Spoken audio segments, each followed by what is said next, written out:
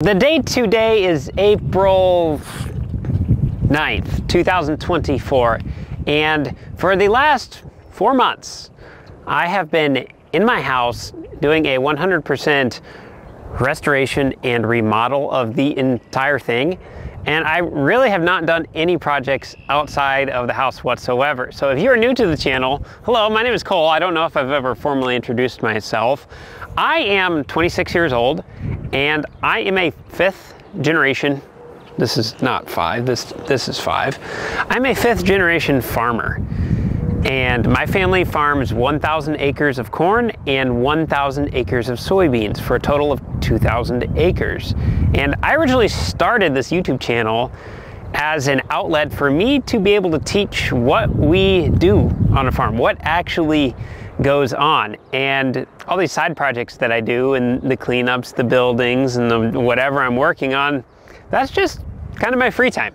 But my primary job is a farmer. And for the last four months, we've been in the house and we have not done anything on the farm. So while I've been taking a little bit of an extended leave, I will admit, working in the house, my family has been busy at work on the farm. So for the last four months, I'm gonna go over everything that my family's done and kind of what we have coming going into this next growing season. Now before we get started, I have a couple things I would like to ask of you. If you enjoy our content and you want to help support the channel, would you be willing to watch the video all the way through? It does wonders for the YouTube algorithm. And the second thing is, what do you guys think of this new microphone that I'm using? I have one mounted up right here. I've never really used one of these before. I always just have one mounted up on the camera. And I want you guys to be able to understand everything that's going on. And an important part of understanding is the ability to hear. And somebody's honking at me right now. And I think that this will help with the ability to hear. Like right now we have like 20 mile an hour winds and you can't even hear the wind, or at least I hope you can't hear the wind. So feedback on that would be appreciated and watching the video all the way through. But with that being said, let's hop into these updates and see what is going on on the farm. Update number one, we're just gonna get the big one out of the way right away, and that is around the bin site. If you are not familiar, we built this bin site going on, what was that, three years ago now. Yeah, and once they got it built, then we noticed we started having some problems. And long story short, we have a lawsuit around it, and we are waiting to go to court. And I have literally not heard anything from the opposing side who we filed the lawsuit against. So I, I guess we're just waiting for court. I have all the ducks in a row on my end as far as engineers and all the people we worked with and like that is all 100% ready to go. We are literally just waiting to go to court, or I guess we have a deposition first and then courts. I'm new to the whole court scene. I don't really understand how it all works. But I, I absolutely have no new news when it comes to the bin site. We are simply just waiting to go to court. And while we're on the topic of construction, behind me we have our corn dryer. We put corn on the inside of it and then we're basically able to burn LP and then it literally just takes the water out of the corn so then we can store it inside of the bins and then it does not rot. It's kind of like taking meat and turning it into beef jerky. Lasts a lot longer as beef jerky. We're just turning our corn into beef jerky, so to speak. But this dryer is like a 1990 and it's not really the most efficient. It's pretty small. We can only dry corn up to like 22, 23% moisture. Otherwise, the dryer just literally stops. It, it physically cannot go any slower to dry any higher moisture of corn. We would like to start our harvest when we are at like 28% moisture. So uh, we have to wait quite a while to get started for everything to dry down for this dryer to be able to take it. And also when we're drying at those speeds, it takes like three hours to dry one semi when our combine can do like four semis in an hour. So this has been a pretty big bottleneck for us. And so I have actually been designing a new dryer or new drying facility for our bin site. So I've been visiting with some concrete engineers. We've been figuring out what we need for concrete underneath of it, as far as how much concrete, how much rebar, what kind of soil we have underneath, just everything we would need below ground. I've been working with some electricians to figure out what we need for wiring and how all that's gonna look, getting things over into our dryer shack. And then we've also been looking at a new dryer. We haven't pulled the trigger on one yet. We don't know what's going on with the bin site lawsuit yet, so we're kind of just sitting here like we want to do projects, but we don't know what's going to go on here. But how long is this lawsuit thing going to take? So we are just taking the steps we are comfortable taking right now, which is getting things lined up as far as what model are we wanting to get, what is all the engineering specs looking like, just getting kind of the groundwork stuff out of the way. So then once we know what's going on, then we will be able to execute and already have all these decisions made ahead of time. So we're pretty excited about that, to be honest. I, I know it seems small. I mean, it's, well, not small, but like, yay, a, a grain dryer. But for me, that's, that's pretty exciting. And for most farmers, a, a new grain dryer, something maybe you do twice during your whole life. So I like, that's a pretty big deal. Before we continue further into this video, I do want to lay just a little bit of a footnote down. When I'm talking about the size of stuff and scale, oh my goodness, the wind just about blew you guys over. But I am talking about it relative to us and our farm.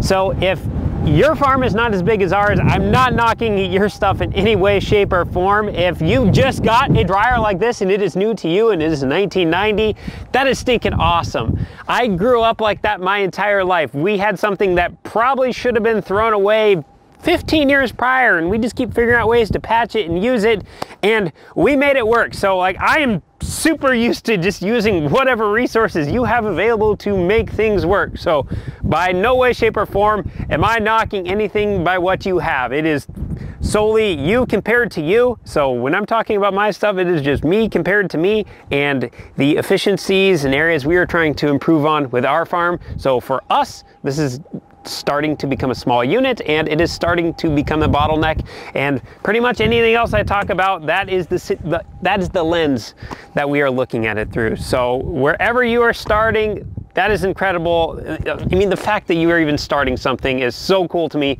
So keep doing what you're doing and just don't take into too much account of the words that I'm saying here. And I may refer a lot to I, me, we, it, it's our whole entire family. I really have not done hardly anything of what we see here. Actually, God gave me every single gift and ability that I have and all the opportunities that I have before me. That, that was nothing that I did. I was purely God given when it comes to that stuff.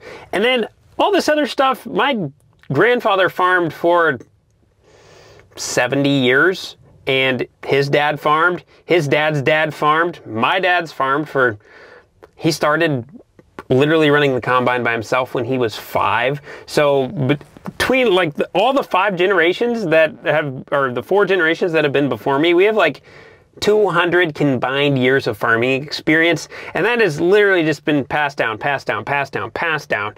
So basically everything we're seeing here is literally built on top of the shoulders of all of the generations before me. So I'm coming in brand new to this, and I've done very little when it comes to what's been improved around here. So I'm not gonna even try to take credit for what has been done. And one last thing on the bin side, this has been something my dad's been working a lot on while we've been working in the house. He has been busy loading up truckers, so this is completely empty. This will hold approximately 260 semi-loads of corn, and we have zero in it right now. So there is literally maybe like 100 kernels of corn between both bins right now. There's nothing in them. We are completely out of corn. Okay, I take the 260,000 bushel thing back, well, kind of. It'll hold about that when things are the way they are supposed to be, but we are not comfortable even filling it nearly that full and we didn't have enough corn for that anyway for it to be full but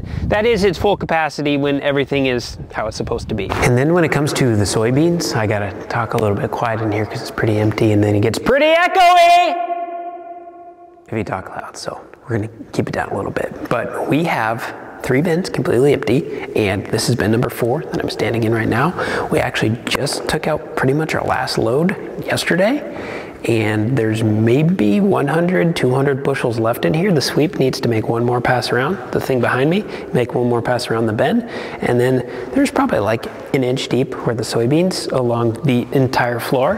And this is a 42 foot in diameter bin. And then there's a little bit stacked up along the edge, along the walls. So there's maybe 10, 15% of a semi in here. What we have left just needs to be cleaned out with shovels and brooms, leaf blower, and then we will just bring this last 100, 150 bushels to the co-op, and then we will officially be 100% out of grain. So by no means are we marketing experts. We hire a company called Ever Ag. I'll put the link down in the description and right here on the screen if you want to get a hold of them. We are part of their foundations program. We've been working with them, I think this is year number eight we are going on with them, and we have no intentions of stopping. We have been so pleased with the, what they've been able to help us do, and we're in full decision mode. Like nobody makes decisions for us without coming through us when it comes to them, but they've been such great advisors and opened us up to different opportunities we didn't even know existed. And so we've been working with them and they pushed pretty heavy of, hey, we should probably be moving some grain and we're glad we made that decision because basically kind of once we pulled the trigger on this stuff the grain market's just been doing this ever since and it's also been kind of nice because we have some of the highest interest rates we've had in like 20 years, something like that. And traditionally, we paid about $50,000 a year in interest on money that we would borrow to be able to put into our crop. And then once we harvested the crop, we would get the money back. We would have to pay that to the bank, plus the interest. And then whatever was left after that was money that we made. That was our profit. And this year, we were looking at like a 10% operating note interest rate when traditionally we were like a five and a half. When we were paying $50,000 a year at a 5.5% interest rate, at a 10% interest rate, we'd be paying close to $100,000 a year. Basically, hey, your profit margin, yeah, it just kind of went to the bank. And so by us being able to sell this grain earlier, we were now able to pay that money off faster at the bank so we didn't have to pay as much interest, which that will help the bottom line on the farm a lot. So it's just kind of an added bonus. I also forgot to mention that my family also raises hay so 1,000 acres of corn, 1,000 acres of soybeans, and then all of the waterways and field edges and stuff like the areas along creeks and that kind of thing, where grass goes grows out and we are able to mow it and bale it, we do. This is actually my brother's business, so I have nothing to do with this whatsoever, other than if Cooper needs help moving some bales around or moving equipment or hey, I'm out of net wrap or something like that. You know, we, we assist there, but the hay business is my brother's, and it's been a bit of a struggle this year going into the winter time. It was super dry last summer, and there was not a lot of hay made. Hay prices were really high. And so the trajectory going into winter was if you held on to your hay, by the end of winter, people were really going to be needing it. The price was going to be pretty high, higher than it even was last year. And so my brother ended up storing like 200 bales. And then the winter was extremely mild, a lot of 45, 50 degree days. And basically, when it's like that, the animals don't need as much food. So the hay market pretty much tanked. I know my brother was offered $170 a bale for every single bale he had last fall, and he turned it down. And he just sold some the other day for $120 a bale. So I guess that's kind of farming. What do you do? Sometimes stuff like that just happens. So my brother's got quite a few hay bales left and we're getting ready to go into the next baling season. So I'm not really quite sure where we're going to put them all, but I guess my brother's got, he's got a lot of hay. So that's a good thing, but just with the price thing, it's a bit of a bummer, but that's farming. On a more exciting note, we have some new help on the farm this year. Roman is my friend, he is from Ukraine. He's lived in the United States now for 10 years. He's going through all his citizenship application stuff right now to become a U.S. citizen, but he has his papers, so he is a legal resident of the United States, and he is working with us on the farm. So Roman is pretty much an all-around kind of guy, literally knows how to do anything and everything, and if he doesn't, once he discovers he doesn't know how to do something, he will research, research, research, research, research, and he will understand it better than anybody you've ever met. So Roman was originally taken on when we started with the house project, and I basically just needed someone to help run the camera. and then come to find out he literally knows how to do all this other stuff, which I did not know. And so he's really morphed into an all-around team player on the farm, and we are incredibly thankful for having Roman around. So we will be seeing Roman this entire next year, and hopefully indefinitely. We really like working with Roman. Roman, as long as you want to be here, you are 100% welcome to be on the farm. And then on the other end of the farm, who's been working with Cooper, is our neighbor Zach. So Zach is pretty much as mechanical as they get, literally can build anything with his hands. So him and Cooper get along just like this. And so since last harvest, Zach's been helping Cooper. So they've been super busy all winter long getting equipment ready while Roman and I have been working in the house and dad has been hauling grain. So this year we have Roman, and we have Zach. And last but definitely not least on the YouTube production end of things, editing is 100% the most time consuming and hardest part about making YouTube videos. For the first 700 or so YouTube videos that I made, I did all the editing myself. So you'd pretty much work for 12 hours and then you'd come home, you'd edit for six or seven hours, you get a couple hours of sleep, and you do that every single day. And after 700 videos of doing that, we found Cedric. So Cedric, he lives in Las Vegas. We send him all of our footage, and he's the mastermind behind putting all of these edits together post-filming. So we have Roman, Zach, and Cedric. So it, it's super exciting to be able to build this team, and honestly, it is 100% you guys watching these videos that we make is the reason why we are able to do this stuff. So from the bottom of my heart and from the bottom of my team's heart, I'm speaking for them. I didn't talk with them about this, but Thank you. Another really big farm update is we got some brand new tires for our sprayer. This last fall, we decided we were gonna come in with a deep ripper and rip all of the ground that was corn last year going to be beans this year 13 inches deep and we did that to mix in our fertilizer that was on the top get that mixed in incorporated down below and then also to address some severe compaction issues that we had so right now our ground is incredibly soft. Since our ground is so soft right now, when we come in with our sprayers that currently have skinnies on them, we call these tires that are 12 inches wide skinnies, they are going to leave huge ruts and they're gonna compact really bad underneath them and we don't want that. Now we have two sprayers. This is sprayer number one and then over there is sprayer number two. A couple years ago we outfitted sprayer number two with what we call fats which are the tires that are behind me. They're about twice as thick as the skinny. These ones are about 22 inches across. So think of like someone wearing a snowshoe when they're walking in snow. They don't sink in when they have the snowshoe on but when they're just with their foot you know, the skinny, they sink way down. So sprayer number two has fats, sprayer number one does not. So we are putting fence on sprayer number one. These standard Goodyear 650s have some pretty interesting technology on them. First off, they're nice and wide, which is exactly what we're looking for in a float. But secondly, these bars are also wider than a typical bar. And that's with the snowshoe example. It helps distribute out our load more when we're going through the field because the name of the game, we don't want compaction and we don't want a giant wheel rut. So these do an excellent job of that. And then number two, we want a tire that lasts a really long time because when we're going down the road and stuff, that is the absolute worst thing on the tire. Out in the soil, they last a long time, but going down the highways, it just chews them up. So they designed these ones to specifically have a thicker middle area right through here. So this is the part that primarily contacts the road and that helps us with the longevity of the tire. And last but not least, these ones have what's called an R1 tread design. So the depth of them is not quite as deep as a typical tractor tire may be.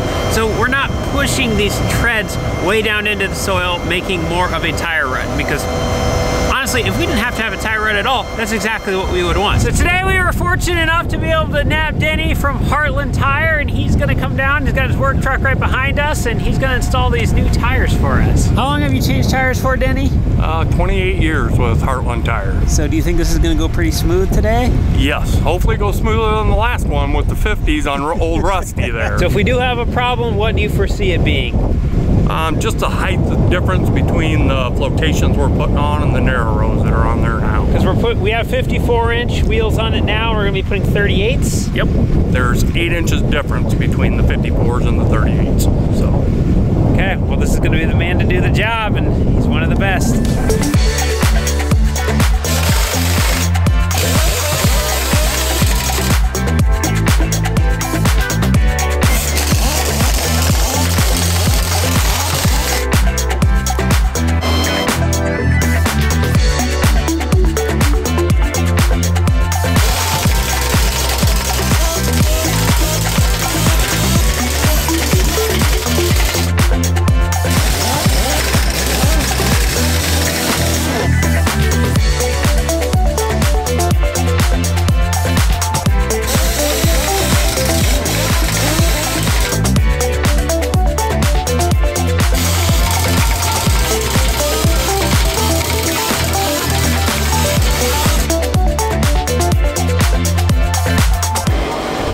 True Ricky Bobby fashion, Denny got these things on with absolutely no problem. So these um, we helped them. Okay. This I- Mr. I- Mr. I- Scott I- here, aka Blister, he helped a whole lot. But we have the new latest and greatest tires on here, and I really don't know a lot about these because these are actually literally the first four in the field in the world. So this is Scott with Titan Tire. He's the one who did you design these? Uh, yep, we, we did in Des Moines. We did. okay, I'll let, I'll let you talk about it. Okay. All right. Oh yeah. So this is a, a new size. It's not. It's not a new design, but it's new for this application. So uh, this is our R14 tire, and you might see it on like compact utility tractors. This type of design. So this is the first time we've gone to these super. They call them uh, metrics, wide metrics, and so this is VF 650 65 R38 VF. Um, but what this does is it, it's kind of a hybrid. So you take you got the lug of uh, your typical R1 tread pattern, but then we throw a bunch of elements in the center for a little harder surfaces. For so for sprayer, you think about it, you're on the road quite a bit, right? You're you're rolling. So um, this is going to be for good wear, good ride, and then when you get into the wetter stuff, good cleaning, good traction. All right, let me break this down into English real quick. So this has a less deep lug pattern, so it's not putting quite as big of a tire track into the field. It's got a nice wide profile to it, but we have more of this going on in the center, so going down the road it's not gonna wear as much. This is more designed for heavy road use all the time, not having to replace tires because we're driving them down the road. So this is gonna be more up to it. We have further space in between, but notice how we don't just have regular tractor tire lugs. That's part of the road component, but we have them spaced out so we actually shed the mud and they work for traction the way they're supposed to. And what you sh- what he said, and so you notice how the lug's kind of broke up here, this element right here. That is going to be good for if you're on hillsides and how you kind of drift, you kind of slide down off of because if you think about that bar as one big slide run or a sled runner, you can now you got a biting edge here, so you should notice maybe not wanting to, to drift a little bit in the in hillsides type application. So yeah, we're excited about it. Literally the very first four ever built. And you, I won't tell you what I had to do to get these, but I don't wanna uh, know. We don't want to know. don't want to know. Hi, I'm Luke from Wold Rim and Wheel. Today, inside one of these 650s, we've got our wheel, a 23 inches wide by 38 inch diameter to fit on this machine. Wold Rim and Wheel, we specialize in custom applications. Scott reached out to us from Titan. We partner with them. He was looking for four wheels. Uh, he only needed four, not high quantity. We do specialize in low quantity, fast lead times. And so that brought us here today. So now that we got everything mounted up, we have Sean from Titan Tire here, and he's got a set of scales that we're gonna run underneath the sprayer. We're gonna get some weights. We're gonna weigh the whole machine with everything in ready full functionality form, and then he's gonna tell us what we need for air pressure in the tires. So I guess this is his first day on the job, and we're excited for Day him to number one. learn. Day number one. Hope it goes well. All right, so the whole theory behind uh, weighing up equipment is getting this tire down on the ground. These are VFs, so that stands for uh, very increased flexion. Oh, I thought it was very flat. No, it's not. It's not. It can be. I mean, based on how much air pressure we let out of these. So, so yeah, you can run about 40%, be about 40% less uh, air pressure than a standard tire. So, putting these down on the ground and getting them weighed up, everything's based off of weight will allow this machine to have uh, less compaction, uh, better flotation, better ride, and just all the benefits of the VF technology. So yeah, we got the backup here. Um, we got some weights here on the handheld. Uh, took some weight off the rear with the weight transfer with the booms out on the rear. So So right now we just have scales under the back tires? Yep, And what does that weigh? with the booms out, um, you're right at uh, 9,580 pounds. Uh, with the booms in, I wrote the weight down over there. You were uh, 12,260. Really? So quite a bit of difference. Okay, so after we got this unit weighed up, um, the total unit, taking the tank into consideration, uh, basically completely loaded, comes out to be 36,100 pounds. Uh, the split on it is roughly a thousand pounds difference front and rear. So with this particular tire right here, it's going to be set at 15 psi all the way around.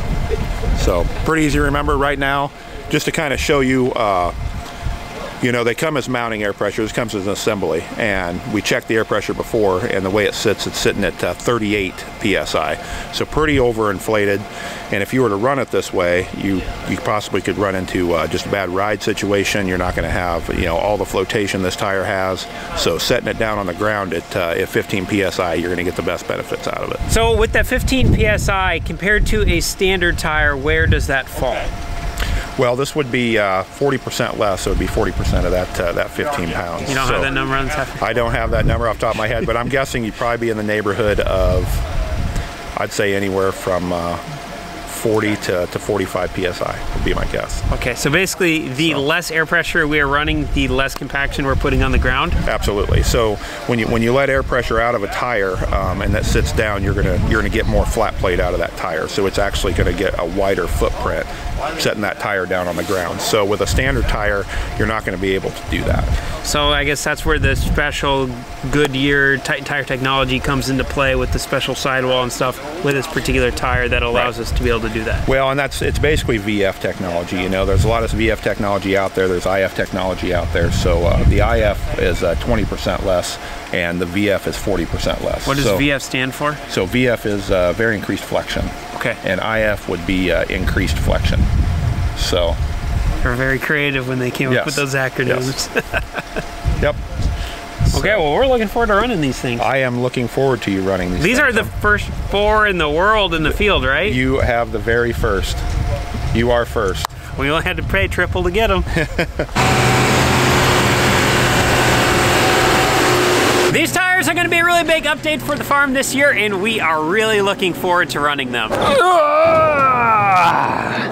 Welcome to the Big Machine Shed. We are in high hopes that this coming year we can hopefully put in an overhead door in the Big Machine Shed. These are the original sliding doors to the building. They, I mean, they work absolutely just fine. The problem is we are standing on the west end of the building. In Iowa, we primarily get winds out of the west. And so when we open these doors on this end and get that nice west wind blowing in, the doors that are on the back of the building, they tend to want to blow out. And so when the wind gets too strong, we don't want it to blow the doors off the back end of the shed. We've had that happen a few times before. Extremely annoying.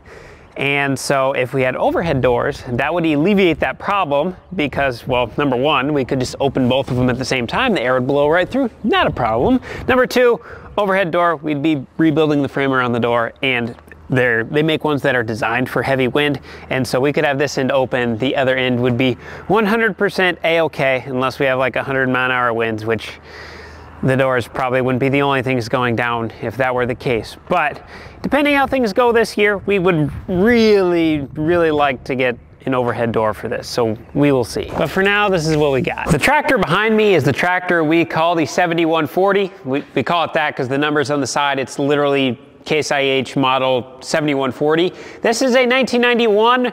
We've owned it since I was, I think, seven. So we've had it for 19 years. We've replaced like two tires on it during those 19 years. We're looking at getting some new tires for this, so that's kind of cool. But the biggest update that we've done to this tractor is we got it ceramic coated. So every year, you know, you can come in and wax your equipment, and then once that wax wears off, you get kind of that dull look coming in again. The scratches start to come through. Well, a ceramic coating, they basically like fix the paint before they do it, and then once they ceramic coat it, it's like a permanent wax or a, a, wax that lasts for a really long time. So we decided to do that on the 7140. We also decided to do the 340, which is our biggest tractor. It's a little bit hard to see right now with the sun coming in the background. And we ran this in the field the other day, getting a piece of tillage implement set up. So it's a little bit dusty right now, but it's really hard to tell. But this thing literally looks wet when it's dry. Ceramic coating did incredible number on the 340. It looks good. Honestly, it looks good on everything we put it on. This tractor is getting close to 35 years old and thing looks stinking pristine. Ceramic coating, just same thing. Makes it look wet. It's cool stuff. Expensive, but cool. We're, we're giving it a try. We'd like to do it on more things if we think it's going to work out long term, but we're kind of dipping our feet into the water. Well, I guess we did like most of our tractors with it, but we're giving it a try and gonna see how it works for in the future. And then the last tractor we did it to is the tractor that my dad runs on the 16 row planter. This is our 4840. This is, I believe it's 1980 or 1982. So it's over 40 years old. And after getting this thing ceramic coated, it, the shine and sheen makes it literally look like a brand new John Deere tractor. This thing looks good. It's gonna be turning some heads this year when it's running out in the field. I apologize for the lighting in this building. We literally have four lights at the very front that light up half of the front 35 feet of the building and this building's 170 feet long so the back 135 feet has absolutely no lights whatsoever. We would like to deck this building out with lights, just like all of our other buildings. When, when you turn the light switch on, it's like turning on the sun. But we have not got to it yet. We've been working on other projects, but this is definitely on the to-do list of what we would like to do. So when we're in the back of this building, I apologize that the lighting's a little spotty. We just don't have any lights. This, this is another thing for our case of having overhead doors, because if we had them in the back, we would have a heck of a lot more lighting there without having to install the lights up above. But when we do that and have the lift in here installing the door, then, you know, we might as well put the lights because we have the lift here. See, when it comes to wanting stuff, you got to figure out how to, you know, strategically make your argument so that way you get both things that you want. With the addition of Zach helping Cooper, they've been every day working on all of our equipment, getting everything ready. So the 340 has been fully serviced. Everything is 100% ready to rock and roll on this from oil changes checking tire pressure, got all the ag leader GPS monitors, everything's updated. Pete Youngblood came out, he did his full service on everything. So this tractor is 100% ready to go. It's hooked up to a high-speed disc right now, so we're gonna be doing a little bit of tillage with it this spring.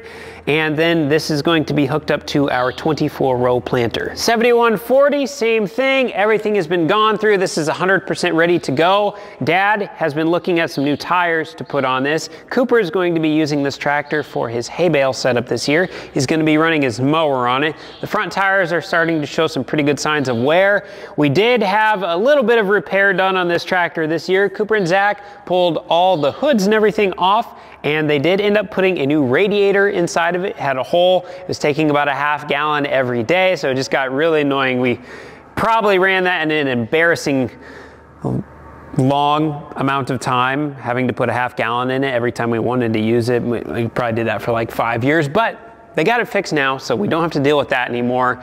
And then they also put some new hydraulic fittings on the back of the tractor. So we did invest about $2,000 into this tractor this year, but this is a good tractor for us.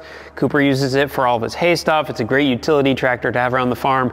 And we do use this on augers, when we are putting grain in the bins during harvest. So this tractor is all ready to go.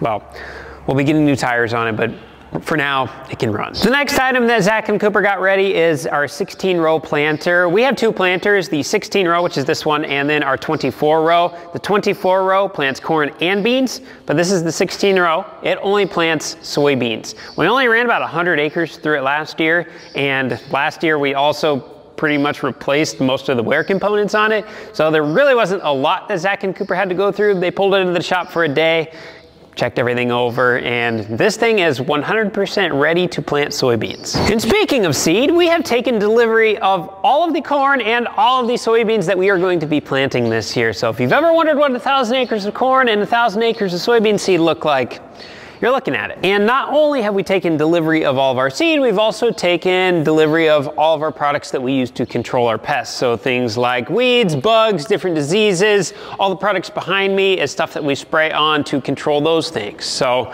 I mean, it's not that exciting. It's a bunch of smelly liquids over there, but we've taken delivery of them. The Thunder Creek fuel trailer has been gone through. We put a new fuel filter on that. The, the, maintenance on this thing's pretty easy, but this is ready to go out into the fields, be pulled behind the pickup truck, and it will supply us with diesel fuel while we are planting or when we're running tillage. When it comes to the John Deere 4840, we had to invest around $600 into it this year. Zach and Cooper pulled the hood off of this one and they replaced the radiator in it. So they did the 7140 and they did the John Deere. I don't remember if they both got new radiators or if one got a new one and one got a rebuilt one. I honestly don't remember, but it was well worth spending the $600 on this tractor because we use this tractor for augers, we use it for the grain vac if we need to, we will use it to plant soybeans, and then if Cooper is mowing with the 7140, then he can have this tractor either hooked up to the rake or he can have it hooked up to the baler. So Cooper mainly uses these two two-wheel drive tractors for his mowing stuff, and they're just really handy to have around. And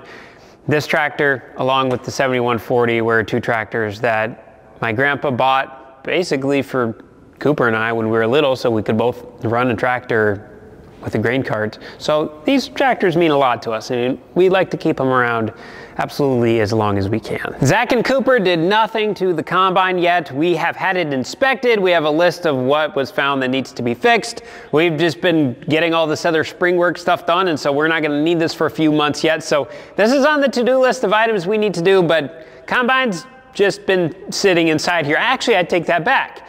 They did put a hopper extension on it. We were able to find one that it adds, I believe, 50 bushels to what it held, or 65 bushels. So now we have a 410 bushel hopper instead of a 350 bushel hopper. So that'll help us be able to pass all the way through our fields and our half mile long rows so we're not dumping cab corn out on the ground. So they did that like right when the winter started. So I, I, almost forgot about that one. Zach and Cooper also spent a couple days working on the 24 row planter. They just basically went through all of the wear items. There was a couple they had to replace. I know there was quite a few seed tubes, the part where the seed actually falls down and it travels inside of before it falls down into the furrow that's created underground. We had to replace a couple of those.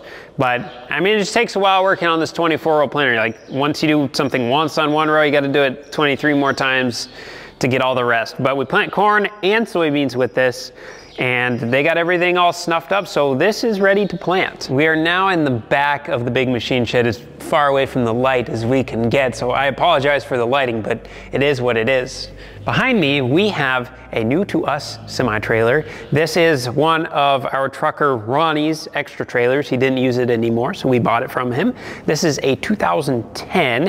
When we got it, it needed a new tarp, it needed a really bad aciditing, it needed some new lights, some new brakes, some new tires, new trap doors. And so Zach and Cooper have been working on all that stuff. They got it all up to snuff, and we actually put an electric tarp on it now instead of the old crank ones. And we got LED lights all the way around the thing, so you can see it from really far way away. And then to absolutely set everything off, just like how we had the tractor ceramic coated, well, we tried it on this semi-trailer and it turned it from like a matte black to this thing looks wet. We have a couple high school boys that have a detailing business and they came out and they were able to take like the old sticker residue and stuff off and then they corrected all the areas of paint on this and there's a lot of surface area here. They put a lot of work into it, but then they ceramic coated it. It looks good. And while they were at it, they polished the aluminum wheels. So we're running a 2010 trailer, new to us. We are super excited about this, but going down the road, if you see this thing from 10 feet away, you'd think it's a new trailer. And then last but not least, behind me, we have our white Volvo. We have these half mud flaps on the back of it. Last year we were driving the cemetery trailer around, which is the trailer we currently have on, and when we turned, we were going up a hill and turning just right, and we used to have a lower fifth wheel plate on this, and that made our trailer basically bump into these mud flaps, and it bent this back one. We want the mud flaps on here because these tires pick up rocks like nothing else you've ever seen, and then they huck them at the back of the semi, and it breaks your back window, and it's really annoying. And so we wanted to get that straightened out. So Zach and Cooper came in here, they ordered some new brackets, they cut out the old stuff, and they got this all fixed. So now when we're going down the road, um, we don't have to worry about rocks, and we don't have to worry about mud getting over everything, which is kind of nice. And then I guess while we're here, this cemetery trailer, the jacks on it used to not really be the best. So Zach and Cooper worked on those and they got this all running now. So if we ever need to unhook this trailer, we'd actually have jacks on it. The more I walk around in here, the more that I think about, it may look a little bit different right here because we have all this extra open space. We ended up selling our Massey Ferguson 2745. When I was a little boy, we used that tractor to pull a grain cart. We basically have, well, we sold that grain cart like 15 years ago. And then this tractor, over the last five years, we've hooked it up to the grain vac a couple times and that's about it. So we decided, you know what, we have enough other utility tractors for all of our other auger needs. This tractor doesn't serve us anymore, so we decided to give it to a home or sell it to a home that could actually utilize it. So we no longer have the 2745 and yes, my voice just cracked. Just think about how much easier this would be if we just had to press a button with the overhead door. Another pretty exciting piece of equipment that we get to run this year. Well, I'm not really excited about the sun poking right into my eyeballs right now. But this is my brother's Polaris Ranger and we got, I should not say we, it was Zach and Cooper, got everything all mounted up for the Ag Leader GPS. So all the wiring has been ran. We have a globe sitting up on the top and on the inside we have a literally a full-blown computer screen. Check this out, just come on into my office. Cooper's got this thing tinted at like 5%, so only 5% of the outside light comes in, so you literally can't see anything in from the outside, but you can see outside pretty good, especially during the day.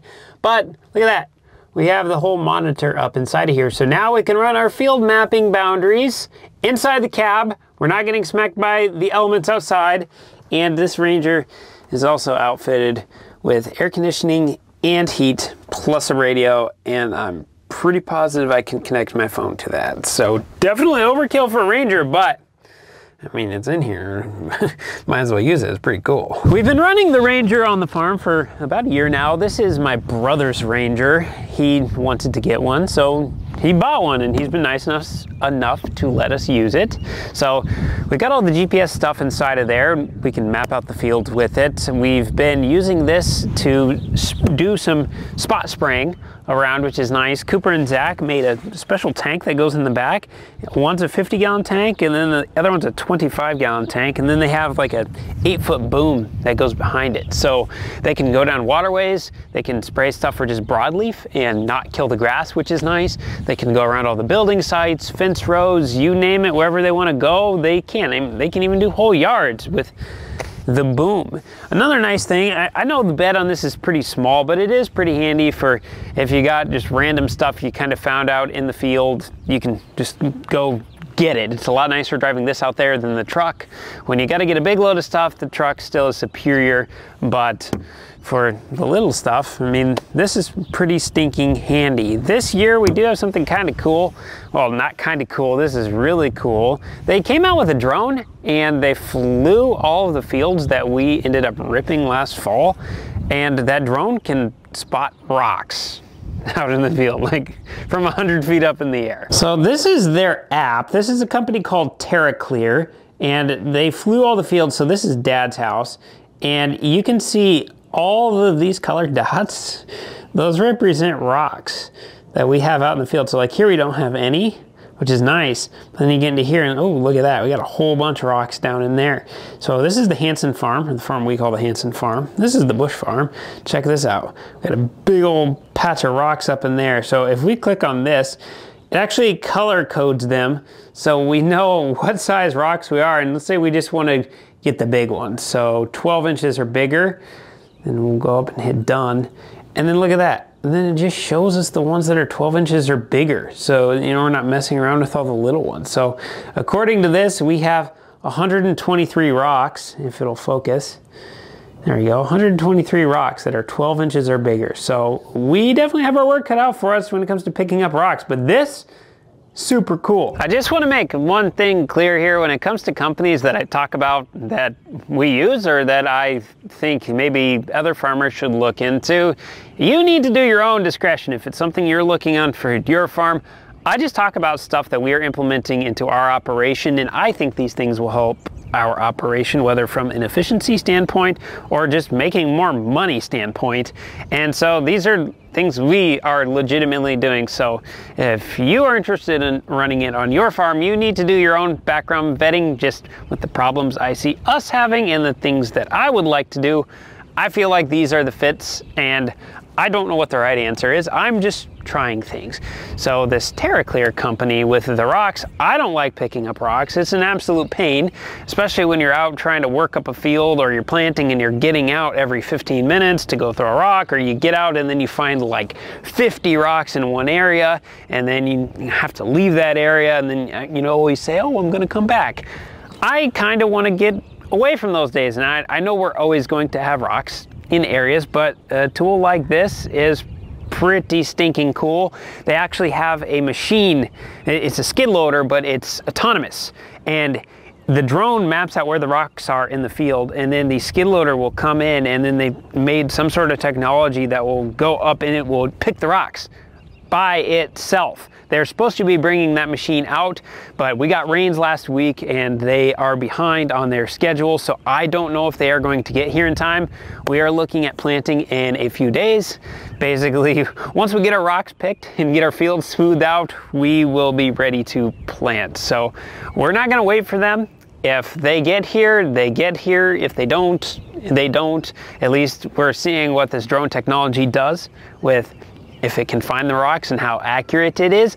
I don't know yet. I have not been out in the field to fully test it for myself, but what I have seen, you can literally pull up pictures of the rock from the sky and look at it. But did it miss some around it? I don't know. We still have to test that out. I imagine that's probably going to be the case, and I imagine it's probably going to say there's some areas that have a rock that are not actually a rock. This is new technology, but I think that this is going to be something that's going to be coming to farms in the future, and I guess we're just being an early adopter here, but we're going to find out how it works. Dad and Roman are actually going to go out and start picking up rocks, so they're going to get a first-hand test to see how this TerraClear works. Good morning, everyone. What a beautiful day. Sunny, a little windy, getting warmer. It means we're getting close to the planting season, and it means that we have to pick up some rocks. Today I'm honored to work with Daddy Cornstar. We just got our pickup, our workhorse for today, all organized, washed up so we can have it full of rocks and we're just gonna go out in the field, find those rocks. We have a super cool app that you guys will see and it will pinpoint exactly where our rocks are so we can just come and snatch them out like a hawk. These going to be our helpers today. If the rock is embedded into soil too much, we can dig it out. And I think we're ready to go. The rock hunt has begun. This one has to be at least 300 pounds. Wow, you're strong. Ah! Man, that's kind of heavy though. I got mine. wow, we hit a jackpot here. So basically all we have to do is just drive around and, Yeah, and hit hit oh. them on the app and just hit pick pick pick. Yeah. It doesn't matter if we come back with rocks or not as long as we clear them out in the app. It's all good. That's called Likely once you get through, we know where we've been. it's called gaining the system. All you people are probably wondering, hey, is Roman a good person to work with? Roman is fantastic. I mean, he is just a great guy all around, honestly. It's kind of a privilege today. You're probably watching Roman, seeing how he's straining. I really probably shouldn't tell our secrets. We went out and planted some rocks last night that are made out of styrofoam and painted them look like rocks. I think that's styrofoam. It's styrofoam. I put that one out there last night. Not the funnest job in the world, but it, it is when you got somebody good to work with, and it's not hard just driving around trying to look for things, pick up debris. It's easier to do it now before we get full swing in the field. 17 inches. I believe it. It is 17 inches for sure. Have you ever seen Farmer's GPS? That's what it looks like. It is spring and we already have a good harvest of rocks. Look at this pile. The truck is getting a little too heavy so we need to unload it next. And we have a little transmission leak so Daddy Cornstar is stopping it off with a transmission fluid so it can keep driving this beast. Yeah, it was wanting to kicking it out just a little bit. Need to find out where my tranny leak is. 10 years from now, you guys will be watching the videos. 10 years ago, Daddy Cornstar, you said you were going to look into that. Well, I haven't got it done yet. Should be okay, I guess. Back.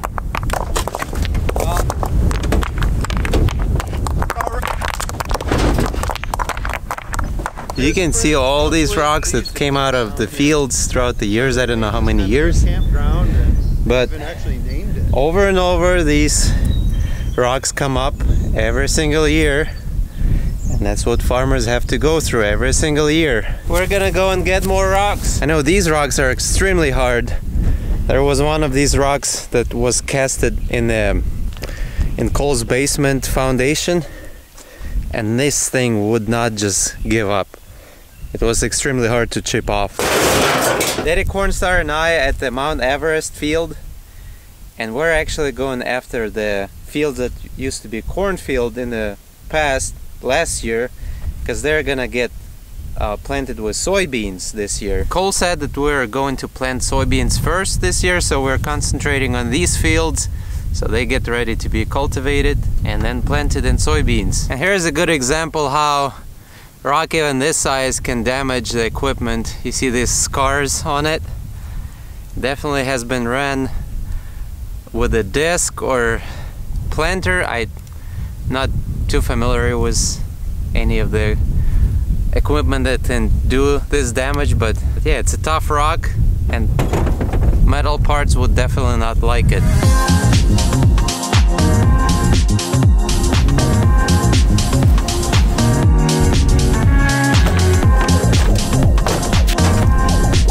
You know, you think about like one little rock like that, if it gets up in your sickle section of the bean head, takes out three or four sickle sections, and then time you get out and repair all that, it's just one less rock we got to worry about.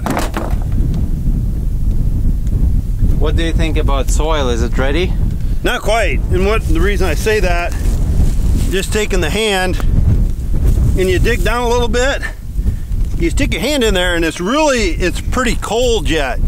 But it's it's it's packing, it's mucky. So it's early in the season.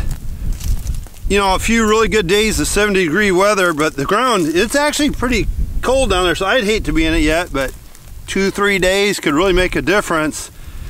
And I know it's always hard and we're all guilty of it.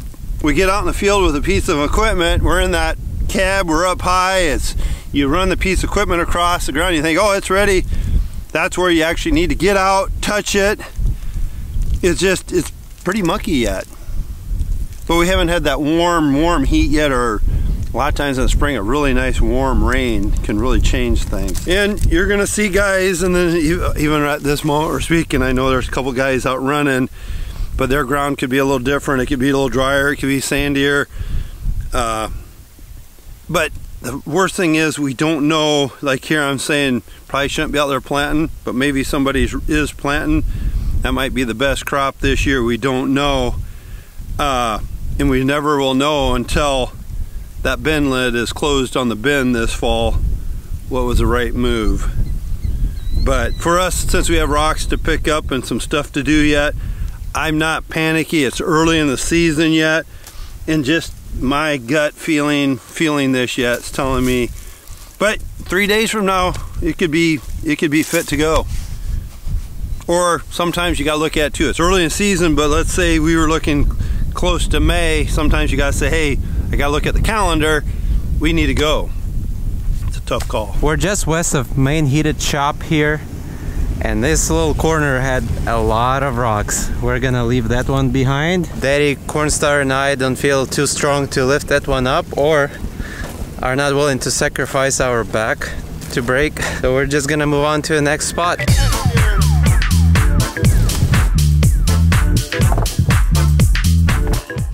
We were having great time picking up rocks, did two loads by hand, then we bumped into some huge rocks, so we called up Cooper with a uh, skid, skid loader and dump trailer.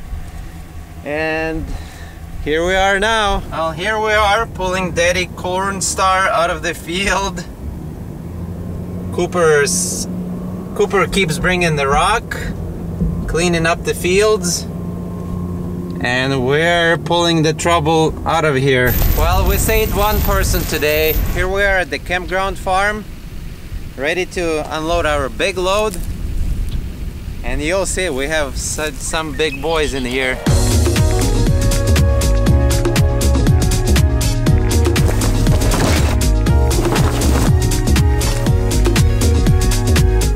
Seeing them pick up all those rocks makes you just want to go climb out into the field and start searching for some rocks and load up your truck. We've been trying to figure out if there's a market for rocks. Like sometimes, I don't know if this is just like a, a fisherman's tale of, you know, they caught a fish that was from here to the ground, but sometimes you hear people selling hay racks of rocks for like $2,000 and we've never seen that. Like you can hardly even give the things away. Now, like if you have a really big one that someone wants in their yard or something, sure you know, usually you say, well, if you come and get it, you can have it. But I've heard of people buying those, and okay, that makes sense. But you know, the like the six, eight inch, 10 inch ones, I don't know, if, if people are interested in buying them, that'd be kind of cool because I mean, we got a bunch. So the tractor beside me is our Massey Ferguson 4880. Before we bought the 340, this was the largest tractor we had on the farm. It's 325 horsepower. It's a four-wheel drive machine, meaning the front's pull is the same as the back. So it's four-wheel drive. It's not mechanical front wheel assist. So this pulls a little bit better in our opinion, than an equivalent 325 horsepower tractor. This is a 1980. It does everything we need it to do, so that's why we keep it around. This is one of those ones where it articulates in the middle, so it's kind of cool. You can turn really sharp with it and you can back into tight areas, and when you, line the back up to hook up to something, you can just turn the wheel and then you can move the hitch pin side to side versus having to pull forward and get lined back up. So that's kind of cool. But this tractor's been on the farm my entire life. I'm pretty sure we actually bought this tractor brand new and literally like 1980. But this tractor's been a couple months in the shop and it wasn't being worked on for months, but it was over there for a while at our neighbor Scott, who works on stuff in his machine shed. I don't really know what it all needed, but he worked on some stuff. This is supposed to be ready to go. And then behind it, we have one of our field finishers and Zach and Cooper got that in the shop. They looked through everything. They replaced some bearings, some broken blades, and that is all up to snuff. So I'm currently standing in the edge of a field that is going to be soybeans this year and we ripped it last fall so I'm thinking probably tomorrow honestly we will be out here working up some ground. This is all ready to go and they got the rocks out of this field so yeah we're ready. While I'm out here in the field, I should also mention that we put all of our dry fertilizers on in the fall time, and on this particular field, we put crushed limestone on to help manage the acidity levels of the soil. Then we came in and ripped everything. So everything got turned underneath, it's incorporated, we got snow on it, we got rain on it, it froze, and so things should be starting to work their way into the soil. So when we make this next tillage pass with the field finisher, it is solely really just to smooth everything off, get rid of all these tire ruts, get rid of all these big clods, and make it a nice smooth seedbed for the planter to drive on. I'm pretty sure my brother has the telehandler in the heated shop right now trying to lift the lawnmower over all of the wood that is sitting between the telehandler and the lawnmower because he doesn't want to move the wood. I, I'm willing to bet that's what he just tried to do. And he probably would have done it too, but there's too much wood in between, so he had to boom too far out. So when he lifted up the lawnmower, the back wheels of the telehandler were coming off the ground. Hey, you gotta give him points for creativity. I gotta admit, this is a first. Never lifted a lawnmower with a telehandler before. Not like this, usually just like clean out the bottom of the deck or something. So we're gonna run into a couple challenges here. I'm gonna try to thing. I'm also gonna try not to hit the ceiling and we're gonna try not to dump the lawnmower. Ladies and gentlemen, welcome to the main heated shop. The reason why we call this the main heated shop is because when we're working on stuff, this is the main area where we do it. This is more of a maintenance shop slash if we have a big project we need to work on, it's going to be done down here. So Zach and Cooper have been basically living in here for the past couple months. Every bit of equipment that they've worked on has been done down here. They are so bright. You almost need a welding helmet. they are really, really nice though. That is referring to the lights that are above me. Northwest Lighting Systems came out this winter and they installed 32, or they brought out, we installed them, but 32 LED lights. We had 30 foot candles of light before on the floor with our old lights and these ones brought us up to 130. So we are over three times brighter with these lights than we were before. They're also on motion sensors, so it's kind of cool. You can have them set. You can just leave your light switches on when you leave, then they shut off. So we have it set front half, back half, and then when you come back in, then it senses you, and then it turns the front half on, and then when you walk into the back half, it'll turn the back half on. But then when you leave, after like 10 minutes, then they shut off. You can set it to whatever you want, but we have it set at 10 minutes. And then you're not just leaving your lights on all the time, but then you don't always have to mess with light switches. So when you pull in with a piece of equipment and you don't want to have to, you know, find your way through everything on the floor to go turn the lights on when it's dark, as soon as you open the door, they just turn on. It's, it's pretty cool. We just have two things left down here to work on to get ready for planting season, and that is both of the sprayers. Last fall, they were inspected, and we had a list of items that we had to order. We have those items ordered. We just need to get those onto the sprayer. I know sprayer number one has a cracked exhaust manifold and then the windshield wiper doesn't work the spray for the windshield wiper doesn't work. I know both of them have some lights that don't work anymore and some blinkers so we would like to get those things fixed.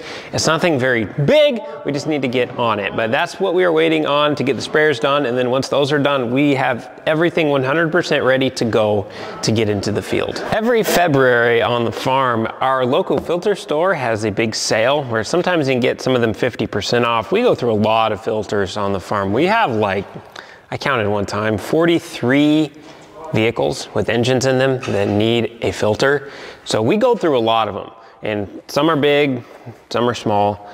And we basically try to order as many of them as we can at once during that sale. So this is the bounty of our filter sale. We Actually, I've been thinning down on what we used to use. We've been coming up with a better system of records versus just thinking, oh, well, I, I think we use five of those. And then we end up looking on the back shelf. You can see all the extra filters we have back there. So the name of the game is let's just buy what we need. So start the year with the full shelf. And then by the end of the year, we have an empty shelf. Then when the next sale comes around, then we replenish. That would be ideal. I mean, clearly we not the best at it, but we're getting there. We're, we're trying new things and figuring out how to be more efficient. I know this looks a little bit discombobulated, but we do have a method to what's going on. Over here we have primarily water filters and fuel filters, and then in this center part we have hydraulic filters, oil filters for the tractor. So these ones are pretty big, so we like to make sure we have a lot of nice room for them. These weigh like three, or four pounds. These are some pretty serious filters.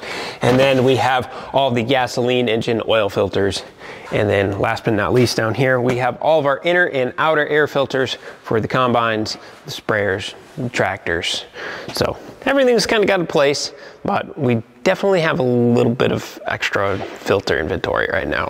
I guess instead of just talking about it, I might as well show you. This is the sprayer setup that Cooper and Zach built. So they custom fabricated 100% of everything here well, they didn't make the tanks and they didn't make the pumps that go on top of them, and I don't think they made the hose reels, but they made all the bracketry and how everything sits and the positioning and all of that. So this actually sits where we can put the skid loader forks through it. So if we need to lift it up into the Ranger, we can. If we want to take it out of the Ranger, we can. And that's super handy because then that basically prevents the back of the Ranger from being tied up all summer long while we have the sprayer in the back. But they got this set up on two reels. So one's for the 50 gallon tank on the front and the other reel is for the 25 gallon tank on the back. So they can run two different sets of things in here. This does plumb into their boom and it runs off of the Ranger. So we don't have to have an auxiliary battery back here. They also built this where it's a double decker system.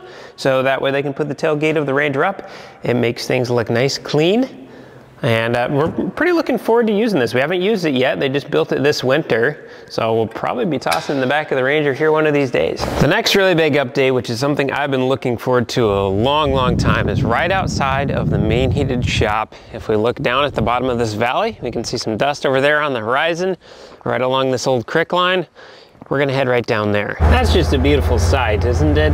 We have a Cat 320CL loading big dump trailer with a bunch of trees. This is a project I'm pretty stinking excited about. We've sunk several hundred man hours into what we've already done, but we're down here along the creek by Dad's house. We have a mile and a half of creek, so we have Bush Farm behind us, Hanson Farm on the other side, and then the field around Dad's house over on the other side.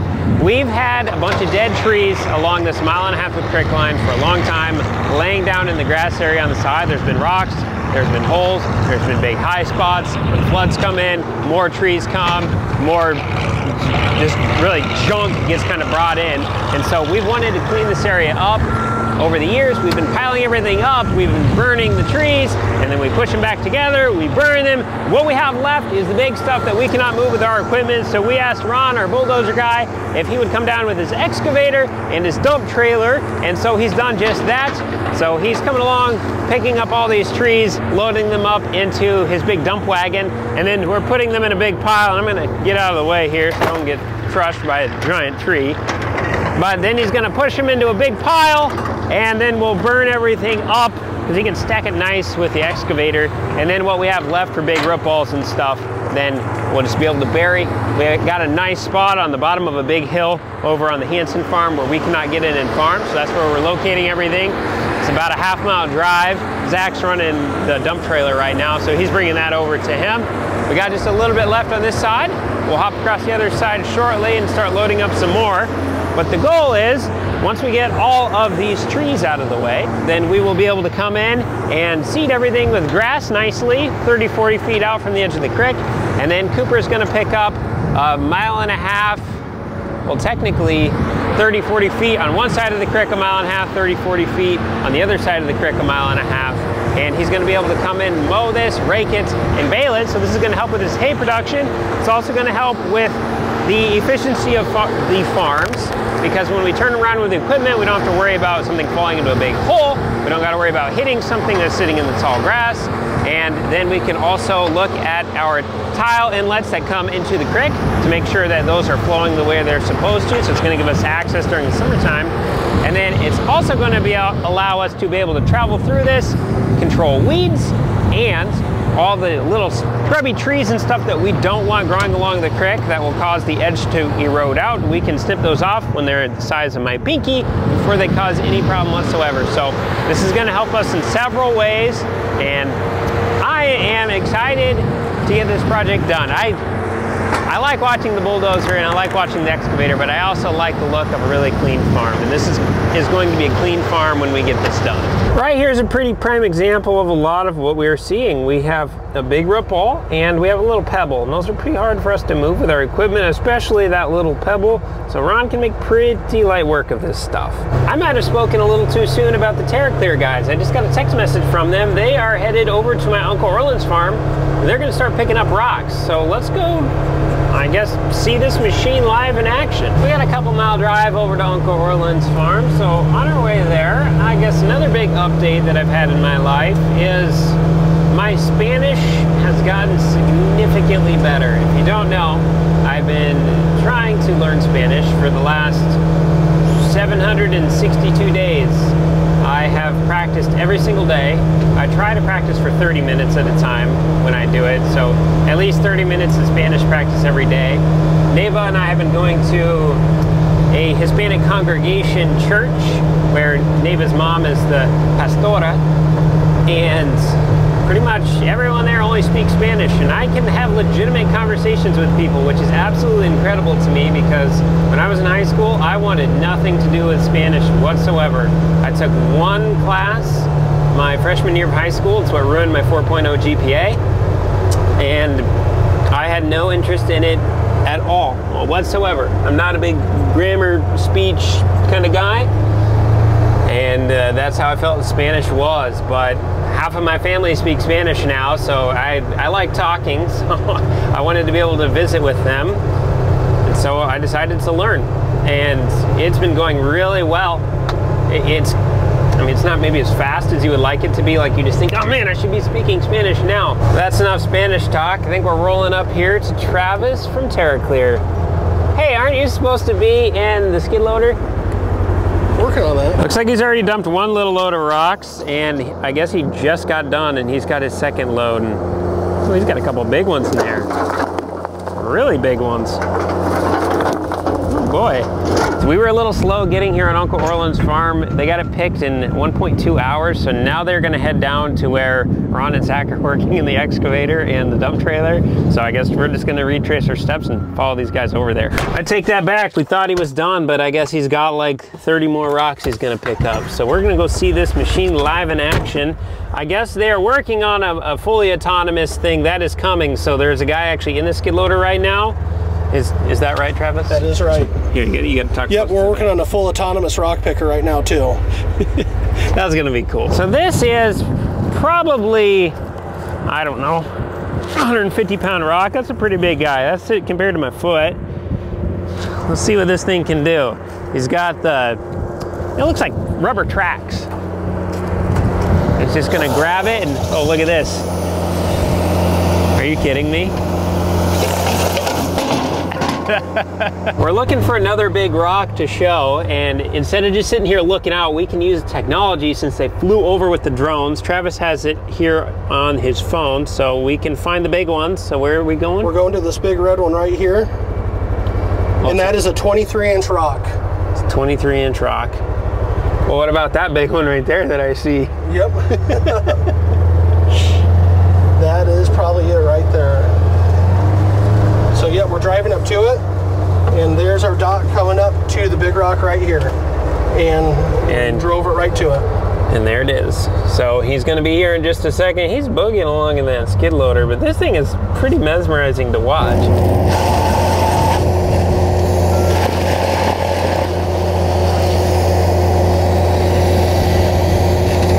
Here we go. Okay, got it up out of the ground. Getting a good bite on it now. There we go. We got all the claws locked in. He's gonna suck it up in, tip it back. You know, was that rock guard in front of the windshield always there? It was after the second rock. you only make the mistake one time. Another thing we've been doing a lot of discussion about over the winter time is estate planning. So Dad and I have gone to a meeting where we consulted with a professional about the farm planning estate from passing from Dad to me and Cooper. So today we actually have another meeting going to it. So I guess here we go. Well, and we got to remember we got to be we want to be fair to the daughter Summer and we got to make sure we got things set up if I would go before mom how mom takes care of things if mom goes before me how we take care of our three kids so it, it really gets confusing it's it makes you think in areas you haven't really thought on that so it's just uh, trying to look out for the for my family it's hard This is why we are going to a professional. Rock picking today took a different turn.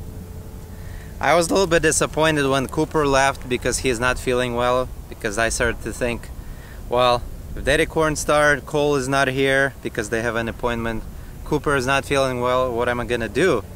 Because I need operator for the dump truck and operator for the skid steer unless it's gonna be just a waste of time walk in the field and do it all manually. Well, but then help showed up and I'm not longer short on help. Look at this.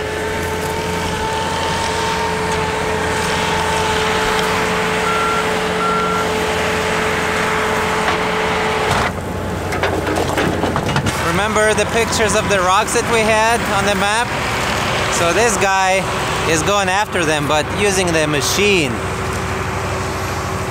He produces the bucket, the skid steer bucket, about every 7 to 10 minutes. So now I'm afraid that I won't be able to keep up dumping the rocks. Another load, but now since we have a big helper with their machine, there will be many more loads to go. You can see how Hunter is going after individual rocks. He has his screen in front of him and it will, he's just going according to GPS maps and he's just picking those rocks out.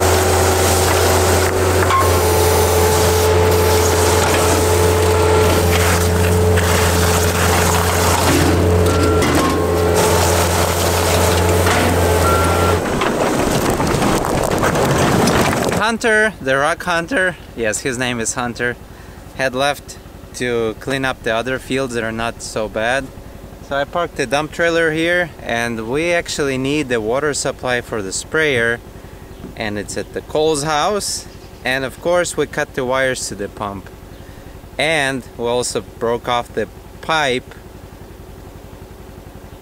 So the water will be shooting out in the house if we start the pump. So we need to find the diameter to buy a cap for it and run new wires to the pump so we can use it. Let's go and do that. All I've been doing is trying to figure out the way that that pump was wired because I don't remember. All I did just snip the wires. So I figured out that it, it uses two phases, two hot wires, no neutral, so we'll have to take two hot wires from the main uh, breaker panel or it's not breaker, fuse box, bring it on bring it here, connect the two, and we need to figure out the diameter of the cap so we can glue it on.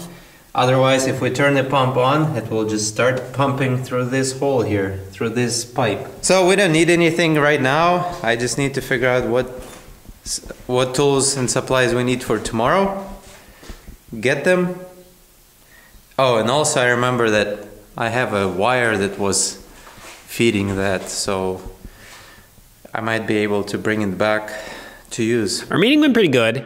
We definitely kind of have our eyes open to the space, and always when you're working with financial professionals, I mean, you kind of have to look at what their point of view is, which is to sell you something, and that thing that they're selling you is to try to be a benefit for you. So, I mean, it's not just a one sided equation, but I guess the, the, way we kind of view money and assets in our family is probably different than most. So we definitely took into account a lot of what they said, but we still have some views on things, but it's nice because we can tell them our views and then they say, hey, well, you may be overlooking this. We just want to make sure this is covered. And then they help us come up with a good plan. So, I mean, we've been impressed with the people we've been working with. This is definitely not a one discussion thing. What we're trying to do is figure out some sort of transitionatory plan for the farm. So, I mean, we, we don't live forever. And when dad passes the farm on to Cooper and me, my sister, my mom, what does that look like? If you're trying to take something and give it to four people and then say, okay, if any decision is going to be made, you all four have to agree, that's not always the best idea. But what is fair, what is not necessarily equal in value per se, but fair and figure something out from there. Or, hey, if you guys are wanting to farm, it makes sense that the farm stuff continues with you guys. But if you're not wanting to farm, what does that look like? Like you're still part of the family. And then also, how is mom taken care of in this? How is my brother taken care of? How am I taken care of? How is Cooper taken care of? And so that's all things we're trying to figure out. There's definitely no one size fits all when it comes to this. It's an incredibly complicated puzzle, but we're at least looking into it and we're learning what options are available and what we can and cannot do. And then so that's going to allow us to come up with a plan. Once we have a plan, then we can start to execute. And I mean, it's really as simple as that, but sometimes coming up with the plan can be a little bit of a challenge. So that's what's been going on on the farm while we've been working in the house. And I think we're basically caught up to everything. So I am going to go to bed. We have a day in the field tomorrow. So here we go. Spring is here.